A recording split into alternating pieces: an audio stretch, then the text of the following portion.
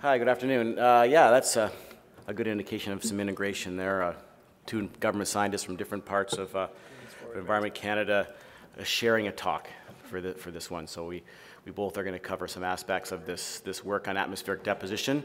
So we're back now into really the atmosphere and what's emitted, where it's going. And um, this is work that uh, is is, done in, in both of these uh, parts of Environment Canada. I'm from the atmospheric side. Much of it's been conducted and led by Dr. Tom Harner there as part of the list of the authors, also Jean-Pierre Charland and the, the groups at our Environmental Technology Center in Ottawa, where we have quite a bit of laboratory activities going on. Uh, Dr. Ming Zhang and Chris McLinden as well uh, in our group doing um, deposition modeling and satellite uh, retrievals.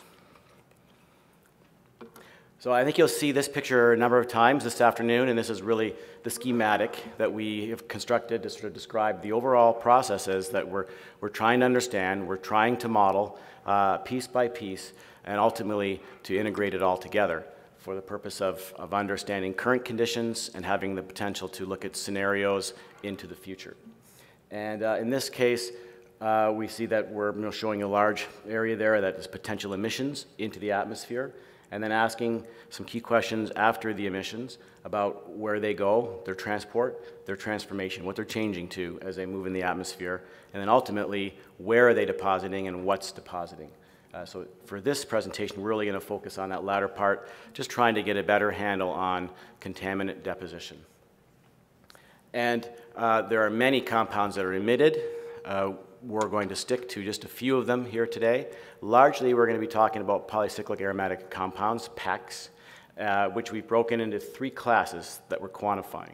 So in this, in this uh, program, we've added some a little additional resolution to our chemical measurement of these PACs by adding, in addition to the, uh, the basic uh, suite of EPA-regulated pHs, 13 of them, but also adding to them a large suite of alkylated pHs that have uh, alkyl groups attached to these benzene rings, and also adding uh, to this uh, dibenzothiophenes, which have got a sulfur within the rings as well, to, to ask some more questions about the, the types of pHs that are out there, whether they can tell us about the source and possible toxicity of the mixtures that are in the air.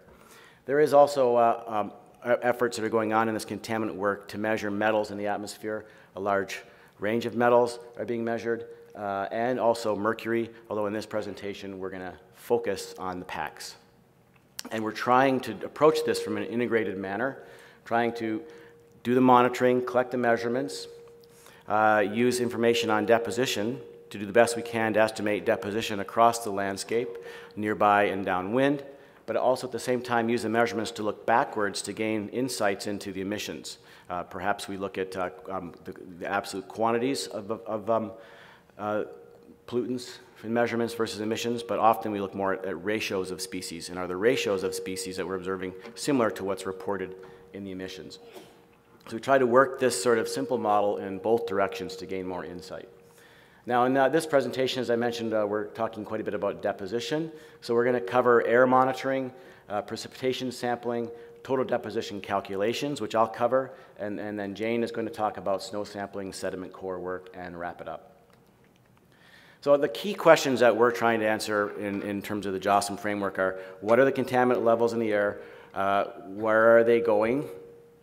Nearby and farther downwind. How are they transforming? I mentioned these already. Uh, where are they being deposited? And ultimately, certainly we want to link this to the doses we can predict through that to uh, research that's going on in the effects. And that leads to a number of different products that we're, we're striving to, to produce uh, spatial temporal trends, baseline concentrations, deposition models, uh, to have this predictive power. So we're not looking just at today, but we can look as oil sands development grows in various areas. Uh, and then clearly we want to link this fully through to the effects. And ultimately use that for this key question, the so what question. And I guess I'm the unlucky one that has to give the first talk right after someone asks the big so what question. Uh, and there are certainly lots uh, that we need to do to to come right down to what are the key ele elements that are there. And in terms of management, you know, the research does take time, and it informs an, an, adaptive management approach as we go forward. We don't have all the answers now. We have to realize that management is an adaptive management. So the contaminant sets that we've been doing and that we've been measuring in the air, we started in 2010, largely through a lot of great collaboration with WBEA in setting up some, some samplers at three of their sites within the oil sands area nearby, and then also going out into the network that uh, Kevin mentioned that they have got their passive samplers at and some MET towers and some of the forest plots to bring in passive samplers for PACS to give us a spatial coverage. Uh, also at some of these sites we've added precipitation measurements and then uh, uh, Jane has been working with a group to do uh, surveys of snow and snowpack sampling, and also groups that are doing some of the sediment cores to look at uh, long-term trends in the sediments. Some of that we saw yesterday. We do want to link all this into models, as I've mentioned already. So in terms of the atmospheric monitoring, this picture there on the right gives an idea of, of the region where the monitoring has taken place, and the three points that are there just sort of uh, in, amidst the uh, main oil sands surface mining area are the three surface stations where we have active samplers, high vol samplers, collecting samples on filters and downstream PUFs to look at total quantities of, of PACs. Uh, you can see a picture there of one of the samplers with a blue arrow pointing to it. Uh, and there are, are some sites that are at somewhat different distances, but really nearby. Uh, there are the passive samplers and at the other spots that aren't marked by the blue that cover a fairly wide net, but lots of gaps between them. And you can see there's sort of range of distance that we cover there up to 100 kilometers in some distances, but largely it's within 40 or 50 kilometers. Precipitation samplers uh, are there, are um, just shown there in the bottom, uh, and, or no, I guess they're in the middle. Uh, the, the precipitation sample in the middle on the, on the right there, there's an arrow. Now, just to jump into some of the data to give you an idea of what's being observed, these are just the measurements of benzo[a]pyrene, which is one of the, the PAHs that's uh, most commonly looked at in terms of what, how standards are set. And this compound BAP has a standard set for an annual average concentration of 0.3. And uh, at the one site, lower camp, which is the one that's more in the midst of the surface mining activity, we've been observing concentrations over these two years of measurements that have been exceeding the standard, uh, or the, the objective at least, uh, for Alberta uh, fairly consistently. The other sites, also within that region, are being observed to be below that. Uh, one of the things we have to worry about when we measure BAP in some of these pHs is the effect of forest fires. So we have to go through the data and make sure that we're not including forest fire in these measurements. This image here is from the same site, the lower camp site, in amidst the measurements is to another one of the WBEA sites. And there are two plots here that I'm showing. And the main thing I want you to take away from this are the one, the dots are the active samples collected every sixth day uh, and the amount of variability that you see. So you can see that uh, in the pink or in the green, that from sample to sample, we're seeing one to two orders of magnitude variability in, the in these 24-hour concentrations, which clearly depends on the meteorology and uh, where the upwind sources are at the time of the sampling. Another thing that I want you to take away from this plot is the bottom graph of the green, the standard PAHs that are typically most often measured, and the alkylated pHs that we brought into this program to look more at what's what uh, the particles and the gases are composed of. And we see that they're uh, 10 times higher than the other pHs. So we've, seen, we've shown that this is really a key thing to expand the suite of compounds that are being measured. Um, this image here shows now just across the passive sites, the levels as you go from nearby, which is sort of the, the sites labeled with the L, the near field sites are farther away. And like many have seen, and I don't plot a gradient plot here, I just plot the data, there are, there are higher levels closer and they drop off further away. Generally beyond 50 kilometers, they drop off to, to as best as we can tell right now, background. Uh, the highest is at lower camp L11. Now in comparison, we can see some background measurements from around the world, uh, coastal Ireland, the Great Lakes, uh, and where our data stand compared to that, or to some urban centers where we see that the, the measurements of these are below that, uh, to some other urban centers as well. Uh, so this gives you a perspective of these measurements to date. If we look at the alkylated pHs, we can see that there is um, higher levels, as I mentioned, nearby more persistence of higher levels. And if we compare that to really the limited data that exists out there for alkylated pHs, we can see that nearby we're in the, in the range of, of what's certainly known and thought to be a fairly polluted city, Los Angeles. Now the deposition work that we're doing is um, involving models that have been developed over a number of years that take into consideration the landscape in the area to compute deposition velocities. In the middle picture there is a, is a picture of deposition velocity estimates across a wide region. You can see Lake Athabasca up there in the upper right. Uh, we can then couple that with the air data, the passive air data, to multiply them together to get an estimate of the deposition flux. Uh, one of the challenges is that uh, this is sort of an observational hybrid approach, and where we can model deposition velocity through meteorological models everywhere, we have very limited measurements of air concentration uh, and not really a lot of confidence to just interpolate that to say what it's like everywhere. Uh, we will be working on using certainly source-oriented models that uh, Heather Morrison will be talking about later in terms of the GEM-MACH model and how we can cover the landscape through that approach. So just quickly, a couple examples of deposition velocity, and one of the things that we've been working on trying to develop better in the context of the JOSM program, and that is to do the deposition of these PACs. And, and that's presenting a challenge because depending on the compound, it'll have different properties, different uptake rates that we measure as centimeters per second. And we can see there uh, anthracene and fluoranthene gas phase deposition, and you can look at something like Lake Athabasca in the upper right, and the differences that are there depending on the compound. So we need to be able to resolve species to be able to accurately do the deposition to the landscape. Or in terms of particle size there on the right, we see PM2.5, smaller than 2.5 micron particles or coarser particles, the different deposition rates there as well.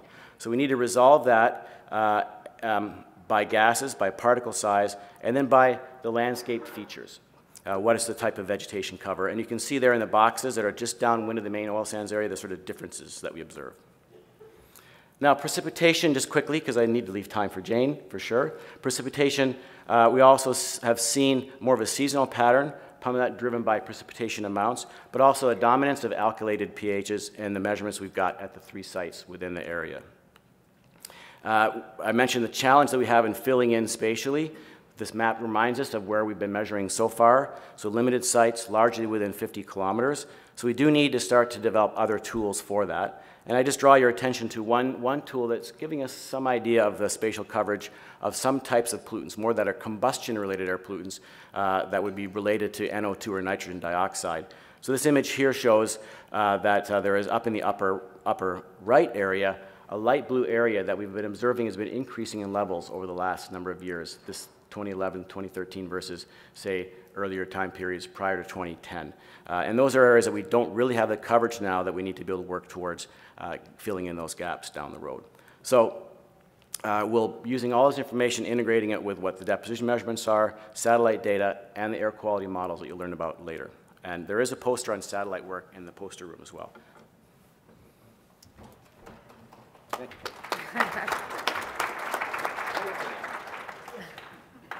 Okay. Thanks, Jeff. So as Jeff uh, said, I'm going to uh, talk about the snowpack work that we've been doing as well as the work with dated lake sediment cores um, as part of this program on atmospheric deposition. And one way we can kind of get around this um, issue of, of covering the entire space of, of the oil sands region is to use snowpack measurements for the wintertime deposition story anyways. Um, so one of the great things about snow is that if you sample the entire snowpack profile, um, you can get an idea of all of the contaminants that were deposited over the entire winter. The second great thing about snow is that um, it's everywhere on the landscape. Um, so you can sample at a variety of different locations um, to uh, look at spatial patterns and deposition. Um, so we've been sampling snow for um, since 2011, um, and we began with just a small survey of the, of the original uh, 30 sites that were sampled by Dave Schindler and Erin Kelly. Uh, and then we expanded the program to, to look at transects, moving away from uh, a central location, or AR6, which is located uh, adjacent to two uh, upgrading facilities and adjacent to some of the major developments. And then also um, sites in the Peace Athabasca Delta. And this, this is one way that we have been working with communities. Uh, we have had community involvement in these snow sampling um, campaigns since uh, 2012 with residents of Fort Chipewyan. So um, from these, what we get when we take a snow sample uh, is that we, can, we melt the snow and then we also take measurements of snowpack density um, and we can determine the snow water equivalence. So we can calculate a um, wintertime loading in micrograms per meter squared, which um, is a deposition estimate for the entire winter. And we have sufficient coverage on the landscape, uh, landscape so that we are able to interpolate these um, measurements and create these nice deposition maps. Um, so you can see that this, uh, this is for total uh, PAHs or total PACs. And you can see this fairly classic bullseye pattern on the landscape. And um, deposition, deposition, does drop off fairly rapidly um, out of the major development area. Um, to put these measurements in, in context, uh, as Jeff did with the air measurements, um, the loadings within a few kilometers of the major developments are similar to what we would see um, in more industrial areas of the lower Great Lakes, for example. And then loadings in the Peace Athabasca Delta, which is of course a couple hundred kilometers north of the major developments, are, are similar to what we would see in a remote US national park or the Austrian Alps, for example. Now, one thing, and uh, Jeff also mentioned this, the importance of measuring a, a fairly large suite of of PACs, and we find this as well. Um, analysis of 52 PACs or 52 different analytes captured 16% uh, more of the total uh, PACs loading um, than measuring 39 analytes that Cho et al. measured a few years previously. So adding those extra analytes uh, does matter to, when you're considering deposition to the landscape. Now, this, uh, this presentation is focusing on uh, PACs, but I did want to bring in a little bit of the metals work that we um, have done. Here's a similar deposition map for vanadium. Um, and here's another one for methyl mercury. And this is, of course, the form of concern because it is the um, form that bioaccumulates and biomagnifies through food webs and um, is a uh, vertebrate neurotoxin. So we, that, we see that similar bull, uh, bullseye pattern for vanadium, methylmercury, the 13 uh, priority pollutant elements or PPEs. We also see it for several crustal, uh, crustal elements as well. So the next thing that um, we, uh, one of the things that we can do with this data is that we can, uh, from these deposition maps, maps, we can calculate the quantity of, of a contaminant that's deposited within a certain area. So what we've done is in the uh, second column, we've calculated the quantity in kilograms or tons that is deposited to the area within 50 kilometers of the major development. So imagine, if you will, a 50 kilometer uh, uh, radius circle. Um, and then we've compared these deposition quantities to uh, emission estimates provided to NPRI. So that's the third column shows 2012 uh, emissions reported to NPRI for the oil sands region for 2012. And then we've simply weighted this for the unestimated winter emissions um, for 2012. And what we can see is that um, in, for some of these pollutants, such as PACs, vanadium, uh, zinc, and nickel, we see uh, uh, a large deposition over uh, the winter compared to what's reported to, M to NPRI for the entire year or what we would es estimate for winter 2012.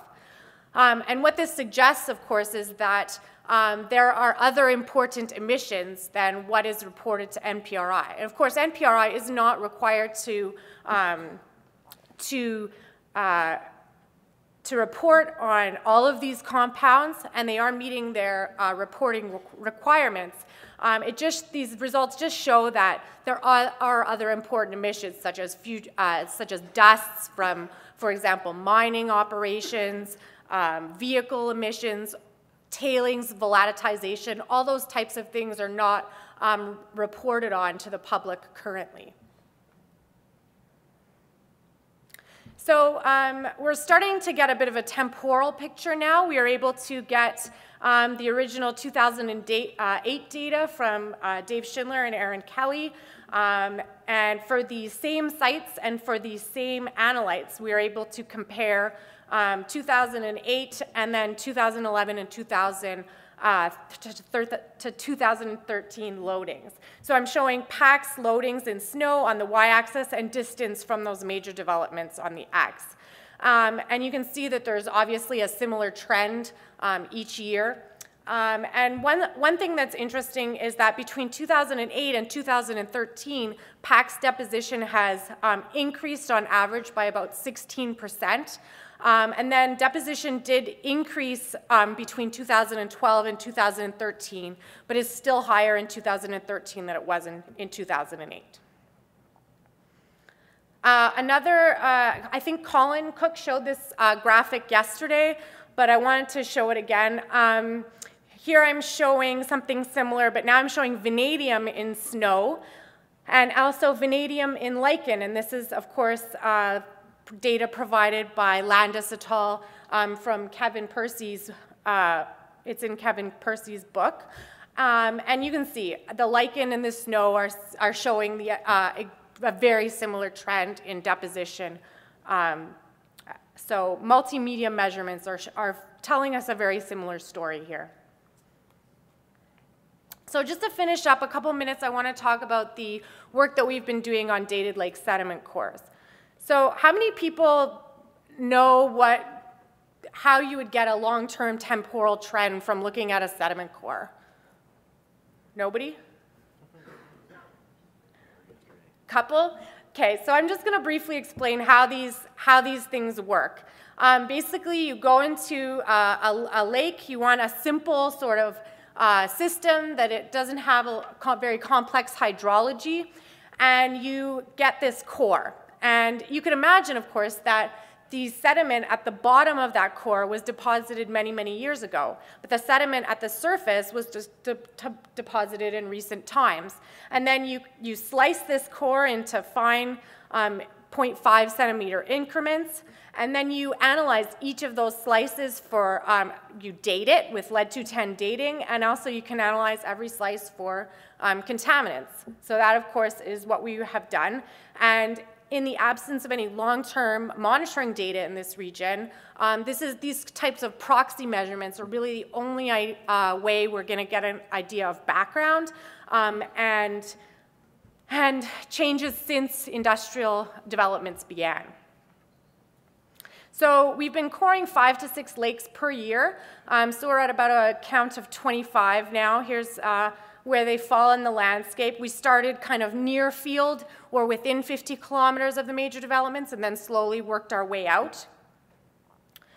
Um, and here's uh, some of the results. So here I'm showing PAH flux in nanograms per centimeter squared per year over time. And you can see that this is between around 1900 and present.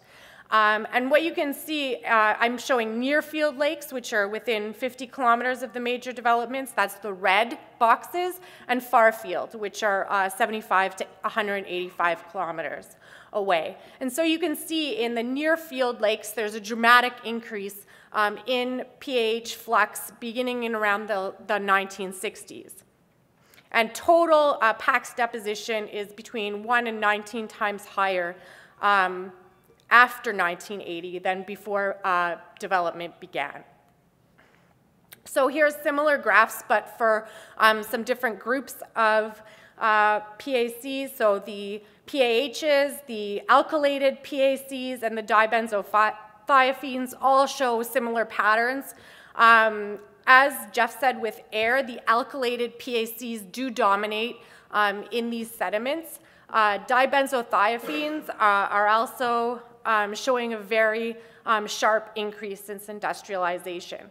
And then retene is on the bottom, and this is an indicator of biomass burning or forest fire. And you can see that it, of course, does not follow the same trends as these other PACs. So um, with that, I'm just going to give you some summary points and then take some questions if there's time. So um, I hope I've shown you, where we've shown you from this presentation, that um, we're gathering enhanced information on deposition of airborne contaminants and soil associated with oil sands activities um, through sampling of air, precipitation, snow, and lake sediment cores. Um, integration of these different measurements uh, and modeling tools are helping establish present day temporal and spatial variability and trends. Um, additional speciation of PACs is providing a clear picture of the contribution of the oil sands activities. And I, I didn't get it, we didn't get a chance to get into some of the fingerprinting or source attribution work um, that we're doing, but it is, it's coming along. Um, current data indicates that deposition is close to background beyond the 50 to 70 kilometer mark. However, we really need to focus a little bit more in coming years uh, on more distant sites and sensitive methods um, so that we can really characterize what is background for this region, which is sounds like an easy thing to do, but it's, it's really not. Um, more complete emission information is really needed, especially on these fugitive sources such as mining, tailings, uh, on and off roads, um, just land, land clearing results in dusts. Those types of things are really needed so that we can reconcile our, uh, the emissions with the environmental measurements. Um, future work will involve continue, continuing um, assessment of ecosystem effects through an integrated approach to help ensure the environmentally sound development of this uh, resource.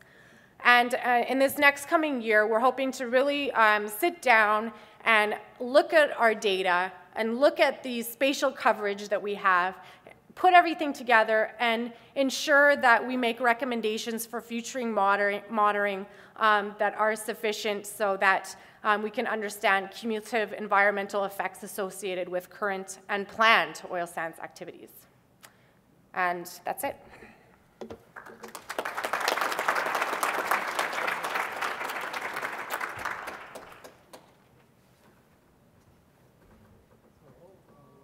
So there are times for questions. I'll, uh, I'll, I'll give you guys the microphone so you can, if you like. Thanks, Jane and uh, Jeff. I just, uh, I, I uh, that's a very interesting presentation. I noticed the uh, several figures in the presentation. It's about the pH, the trend, uh, like a flux trend for pH. Um, uh, I think pH, like a, a, organic pollutant, is a little bit different from metals. It's it degrades. so I'm I'm thinking when you do the trend analysis, you better uh, take the like maybe like a biodegradation into consideration, then calibrate your result. Uh, but maybe not uh, uh for metals. So. Um, yeah. I, so I guess it depends on, on your question. If you're looking at net ecosystem uh, inputs of the contaminant, then sort of it doesn't really matter what the degradation was before it enters the ecosystem, right? If, you're, if you want to assess what the net ecosystem input is, say for my snow measurements at snowmelt, then post-depositional processing of that contaminant really doesn't matter. So it really depends on what your question is. If you're interested in transport pathways, and that sort of thing, then degradation, post, depositional, uh, and pre-depositional processing is important. So I guess it, it depends on what your question is um, on how carefully you have to look at degradation and in what compartment. Does yeah, that? Uh, my question. Um, and some metals do undergo post-depositional processing. For example, mercury does undergo photoreduction, and me uh, methyl mercury undergoes uh, photodegradation as well. So some metals, uh, they all react, they all act differently, you know? Yeah, that's true. Um, but for pH, like uh, once it's deposited into the lake sediment, it, I, uh, our research showed there's a biodegradations, uh, like for pH. Oh, sure so diagenesis within sediment cores, is that what you're? Yeah, the sediment cores, yeah. Right. That one, yeah. Um, um, okay, th um, that's the first one. Uh, my second, uh, another question is, uh, I, I, just uh, want to share the information with you. Uh, lately, I had a phone call with uh, Alberta Agriculture or Forestry. Um, I just noticed the wind direction change in a season, like in different seasons. Mm -hmm. Like normally, we know the prevailing wind direction is from west to east, mm -hmm. but it's not the case like in different seasons. Mm -hmm. Sometimes from south to north, sometimes from east to sure. west. Yeah. So when we do the snowpack uh, analysis, we probably need to take this uh, uh, into consideration? Sure, yeah, we've, Yeah. we've done the wind analysis for sure. It's part of the, Yeah. the package, and for the modeling, I'm sure it's a big part of what goes into the model.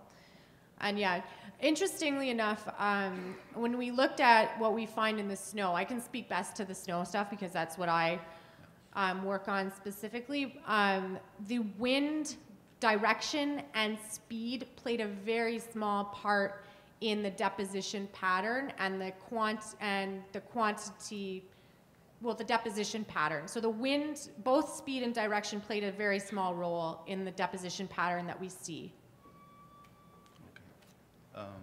So yeah, just, um, you know, going to the air, so in the air, there is, uh, if, if- if I were to plot curves like what Jane showed for, for concentration versus distance, you would certainly see that there's points from the passive uh, sampling that are off this curve.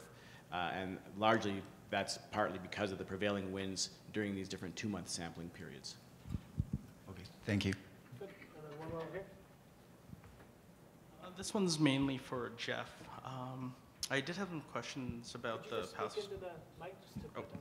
Thanks. I did have some questions about the passive sampler, but maybe that's better taken offline. I just had a quick question about the results of the PAC uh, sampling that you did. So there's historically been a decent amount of just the high vol PAH data, but with the passive, the new passive spatial resolution, uh, I, I guess what have you seen with the alkylated PAHs and the benzo[a]pyrene or uh, dibenzothiophenes? Um, are there any specific compounds that we're to start looking out for? Or have you seen anything that's uh, been interesting? Like, has there anything stood out with those results? Well, um, you're largely asking the wrong person since uh, it's been the laboratory uh, group uh, uh, has been led by Tom Harner that's been looking at other compounds. Uh, and one of the things that they've been trying to extend their work to has been to look, actually look at the toxicity of the extract and get a sense whether there's variations in the toxicity of the extract that are there some results I could share with you offline if you wanted to see some of that. But you know, I think the sort of real overarching thing that's been here so far has, has been the, you know, the much larger amount of alkylated PAHs. Um, uh, uh, we have a new postdoc that's working on um, with Derek Muir on some identification of new PACs compounds. And so he's using some new fandangled approaches, the 2DGC ICP-MS. And so he's able to identify some new novel um, PACs that haven't been um, identified in the oil sands previously. So that's work. That work is potentially interesting for sort of source source attribution, which I think is what you were getting at. Some yeah, if there's some marker of something of different processes. So we are we're, we're working in that direction for sure. Okay. Rob- Oh, Sorry, Rob. Sure, yeah, no, one more. Just a quick one here, and you- we can also defer this till maybe after Heather Morrison's talk later on. Yep. Um, I just want, wouldn't mind hearing a little bit more about the- your comment about needing more emissions information. So if, um, question would be if, are any of the industrial sites providing you real measured emitted data so that you can compare? So you're asking if industry has that data? If they have it, and if they've provided it to you, have, do- have you reviewed that data? Um, I think they do have that data. Maybe there's somebody from industry here, here who can speak more to it. I don't know, but um, I think they do, and I think it's only a matter of time before we're able to sit down and, and get our hands on that. It's just, you know, it's it's it's going to be a process to to work together and come to agreements of sharing of information. But I I have had some meetings with them that suggest that they do have it, and there there are people at the table who are willing to share it. So do you know if the NPRI emit, um, estimated emission quanti- quantities, if they've been based on actual measurement or on estimates? Um, I don't know if you were here yesterday for George Marson's presentation. Absolutely. Yeah, so I, I think the picture is quite similar for the PACs as well. There, it really is quite variable as to how often those sorts of measurements have been taken and how they're turned into emission factors. Uh, and then certainly there are sources where there's less information available, such as the, the tailings ponds, which the work of uh, Frank Wania has pointed towards as being a, a possible source for some of the, the uh, um, gap between emissions and what we see in the, in the uh, passive samplers. All right, great. Thank you very much. Round of applause there for those.